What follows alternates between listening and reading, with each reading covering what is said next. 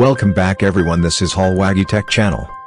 If it is your first time please make sure to subscribe. And check other videos on my channel. Today I am gonna show you how to overcome current limit throttling. At first we need to define the throttling process. CPU throttling is adjusting the clock speed of the CPU. Also called dynamic frequency scaling CPU throttling is commonly used to automatically slow down the computer when possible to use less energy and conserve battery, especially in laptops. CPU throttling can also be adjusted manually to make the system quieter, because the fan can then run slower. The second type of throttling is thermal throttling. Thermal throttling is adjusting the clock speed of the CPU based on the amount of heat it is currently generating. Thermal throttling helps cool the chip when it gets too hot by lowering the speed of the processor. To overcome the current limit throttling for Intel processors you will need to download the latest version of Intel Extreme Tuning Utility from the link in the description.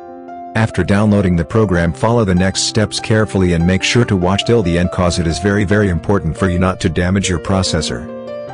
Step number 1. Install the program and then restart your system.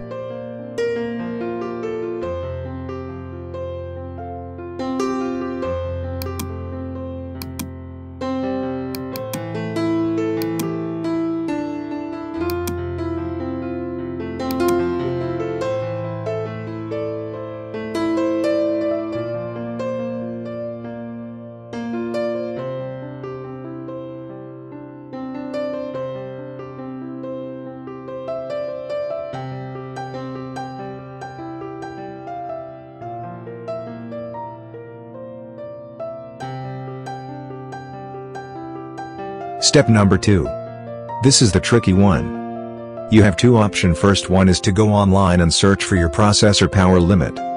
And play around it by adjusting the Turbo Boost Short Power Max to the exact same number of Turbo Boost Power Max. Then click on apply and restart your system.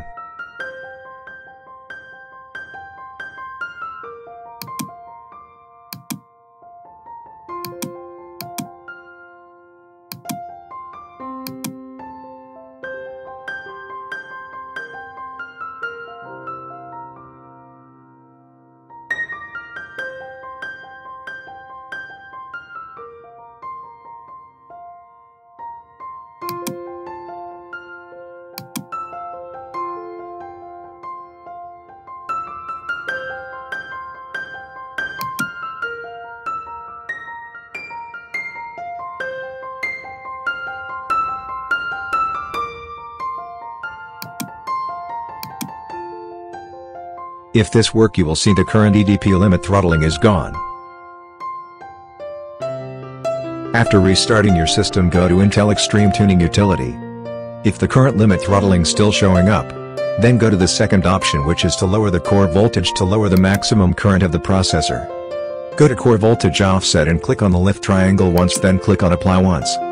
Repeat until you get a stable non-throttling state then restart your system.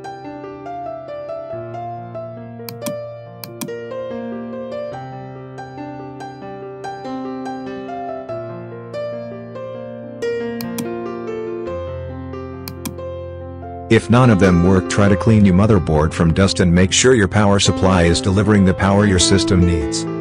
Or try updating your BIOS. For Dell E6540 download and install the BIOS from the link in the description and your current limit throttling will disappear.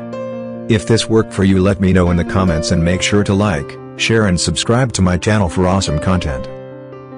Like, share, comment, and subscribe.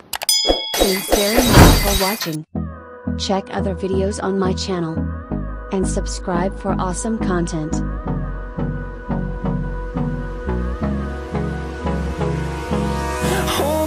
Close till I get